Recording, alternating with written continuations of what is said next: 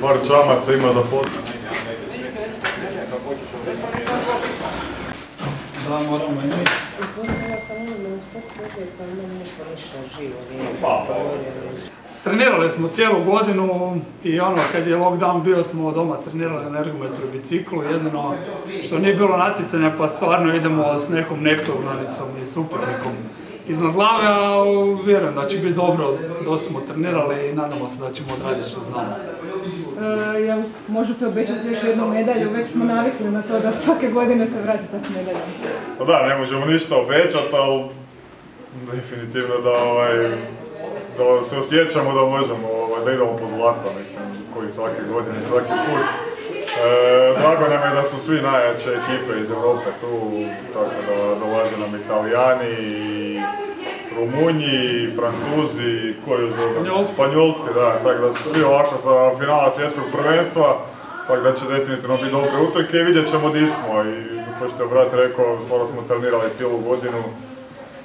Čak možda ne samo za ovu europsku, nek za sljedeće godine olimpijske igre i dobro nam dođe još malo kilometara u dvojicu bez kormelara.